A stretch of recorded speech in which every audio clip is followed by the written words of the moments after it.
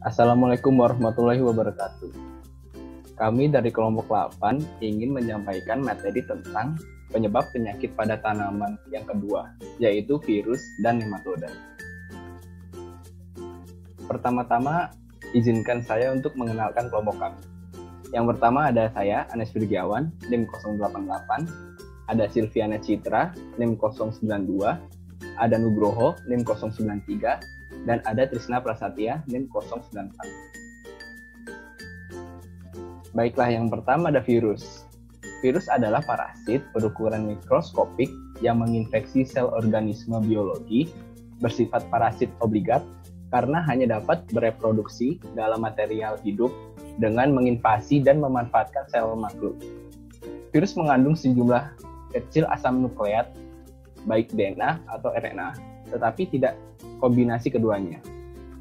Yang diselubungi semacam bahan pelindung yang terdiri atas protein, lipid, glikoprotein, atau kombinasi ketiganya. Genom virus akan diekspresikan menjadi protein yang digunakan untuk memuat bahan genetik maupun protein yang dibutuhkan dalam daur hidupnya. Virus merupakan organis organisme subseluler yang karena ukurannya sangat kecil hanya dapat dilihat dengan menggunakan mikroskop elektron. Virus terkecil berdiameter hanya 20 nanometer atau lebih kecil daripada ribosom. Sedangkan virus terbesar sekali, sekalipun sukar dilihat dengan mikroskop cahaya. Yang kedua, sifat virus. Bahan genetik pada virus tumbuh-tumbuhan adalah RNA.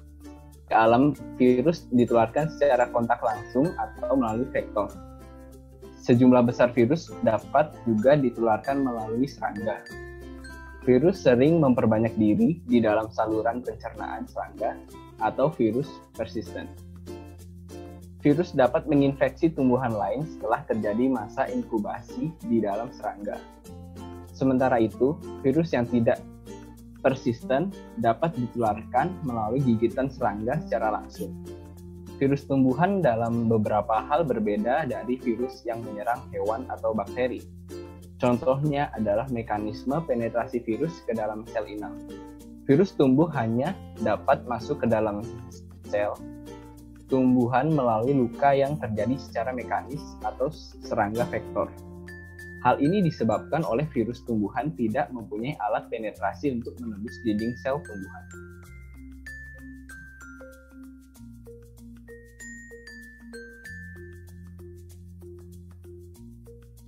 Lalu ada struktur dari virus. Yang pertama, asam nukleat. Asam nukleat yang paling umum terdapat pada virus adalah asam deoksiribonukleat DNA dan asam ribonukleat atau RNA. Yang kedua ada kapsid. Termasuk ke dalam bagian kepala, kapsid adalah kulit protein dari suatu virus. Terdiri dari beberapa subunit struktural oligomer yang terbuat dari protein yang disebut protomer. Lalu ada amplop atau selubung.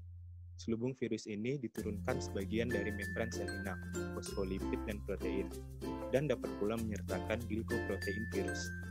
Selubung virus bergabung dengan membran sel inang sehingga kapsid dan genom virus masuk dan berfungsi. Lalu ada lempeng dasar. Lempeng dasar berfungsi sebagai tempat melekatnya serabut ekor dan jarum penusuk. Dan yang terakhir serabut ekor. Serabut ekor adalah bagian berupa jarum yang berfungsi untuk menempelkan tubuh virus pada sel inang.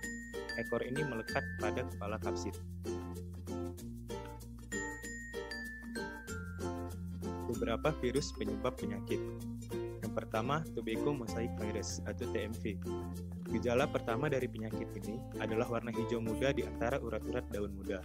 Hal ini diikuti dengan cepat oleh perkembangan pola mosaik atau belang-belang warna hijau terang dan hijau gelap pada daun. Kerutan juga dapat dilihat di mana daun tumbuhan yang terinfeksi menampilkan keriput-keriput acak kecil. Infeksi tidak mengakibatkan kematian pada tumbuhan, tapi jika infeksi terjadi di awal musim, tumbuhan menjadi kerdil. Yang kedua ada rice tumoro virus atau RTBV. Setelah tumbuhan terinfeksi, gejala yang disebabkan adalah pengerdilan tanaman, warna merah sampai oranye kuning, dan pengurangan jumlah gabah hasil panen infeksi yang terjadi di awal akan menyebabkan kematian pada tumbuhan.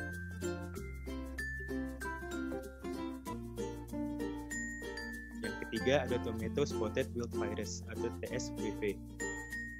Gejala TSWV berbeda antar spesies inang dan dapat bervariasi di dalam satu spesies inang.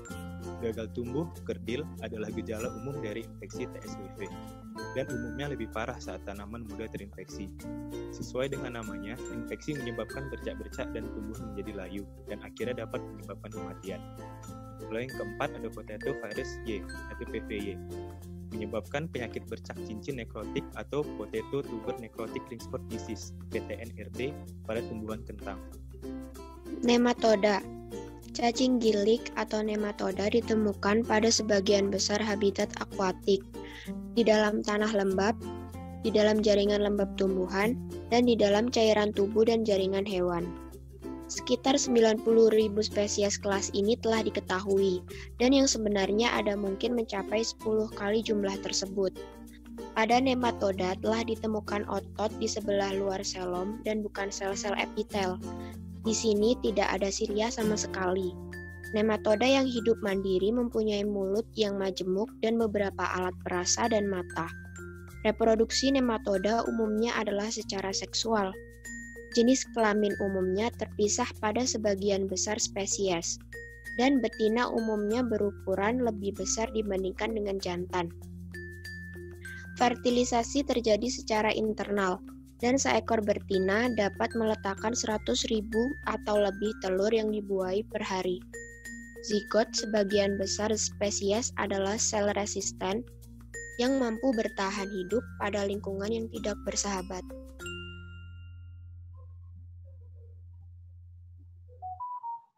Kemudian ada sifat. Cacing ini ukurannya bervariasi. Dari air tawar ke darat berukuran kurang dari 1 mm, eh, sementara yang hidup di laut itu mencapai 5 cm. Bilateral simetris, tripoblastik, pseudoselomatik, tidak bersegmen. Tubuh ramping silindris ditutupi oleh kutikula yang kuat. Uh, saluran pencernaan lengkap, bentuk lurus atau tabunak, dimulai mulut sampai anus. Tubuh dilengkapi serabut otot longitudinal. Tidak mempunyai alat respirasi, sirkulasi, dan alat ekskresi sederhana. Memiliki cincin syaraf yang mengelilingi esofagus, 6 saraf anterior, 6 atau lebih saraf posterior. Jenis kelamin terpisah, jantan lebih kecil dari betina. Sejak berbentuk telur, nematoda sudah berada di dalam akar tanaman, kemudian menetas menjadi larva dan tumbuh berkembang menjadi nematoda dewasa. Cara menyerang nematoda yaitu dengan menusuk dinding sel akar dan batang setiap saat dan terus-menerus bergerak dan menetap di area perakaran tanaman. Sembari bergerak, nematoda menggigit serta menyuntikkan air ludah ke akar tanaman. Kegiatan itulah yang menyebabkan terjadinya kerusakan sel pada tanaman.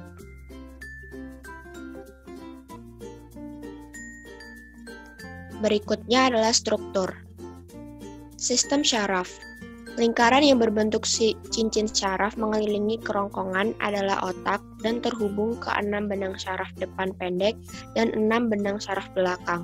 Organ sensorik dalam nematoda adalah papillae, setae, dan amfit. Selanjutnya ada sistem pencernaan. Ini sebagian besar nematoda yang hidup karnivora dan makan metazoa kecil, termasuk jenis nematoda lainnya. Spesies darat adalah parasit tanaman komersial.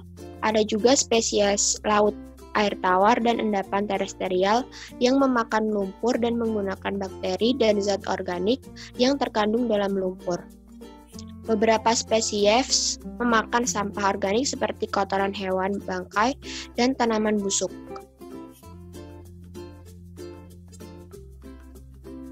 Selanjutnya ada sistem ekskresi.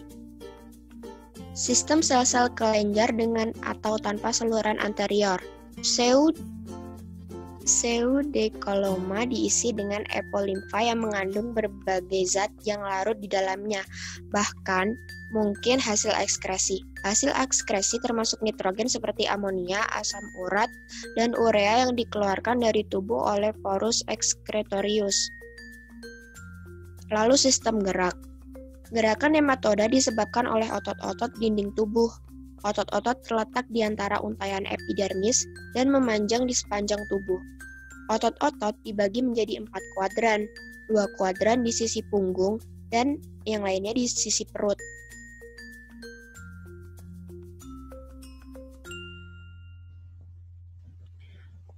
Selanjutnya ada struktur di sistem otot. Kayaknya areal berserat di setiap ujung serat otot terhubung ke hipoderm. Sedangkan ujung serat lainnya yang kurang berserat dari sel otot dihubungkan oleh batang saraf dorsal atau mitra yang merangsang otot-otot ini dengan motor. Yang selanjutnya, sistem reproduksi. Dalam reproduksi, strain nematoda selalu dibuat menjadi seksual.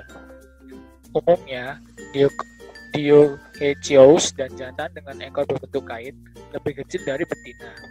Alat reproduksi pria terdiri dari testis, rongga kandung kemih, air mani, dan lubang genital. Yang selanjutnya sistem pernapasan. Nematoda tidak memiliki sistem pernapasan khusus. Bernafas bisa juga disebut anaerob. Energi diperoleh dengan mengubah glikogen menjadi CO2 dan asam lemak yang diekskresikan melalui kutikula. Hemoglobin terjadi dalam cairan perivesikeral dari banyak nematoda parasit. Ini sangat baik dibentuk oleh organisme, asalkan berbeda dari host hemoglobin dan hemoglobin dengan sifat yang berbeda kadang-kadang terjadi di dinding tubuh dan dalam cairan perivescent.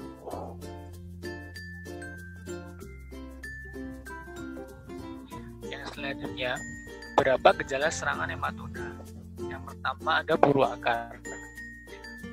Gejala ini tampak apabila tanaman terserang nematoda buru akar, yaitu Melodigna spp, Nacobus, dan Vitellenhus radi. Serangan nematoda tersebut akan membentuk buru pada akar tanaman, seperti pada tanaman kentang, tomat, dan jenis tanaman lain kedua, stubby rot. Pertumbuhan ujung akar terhenti dan pertumbuhan cabang-cabang akar juga terhenti. Cabang-cabang akar yang berukuran kecil akan terhenti pertumbuhannya, sehingga membentuk ikatan akar.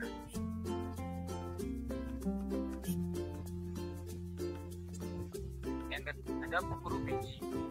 Contoh kasus serangan larva Aquina tritinci pada titik tumbuh tanaman gandum. Setelah bunga terbentuk, nematoda yang telah tumbuh sempurna mulai masuk dan menyerang pada bagian ini sampai nematoda dewasa. Yang keempat, ada nekrosis. Beberapa jenis nematoda hidup dan makan dalam jaringan batang dan daun yang menyebabkan terjadinya nekrosis.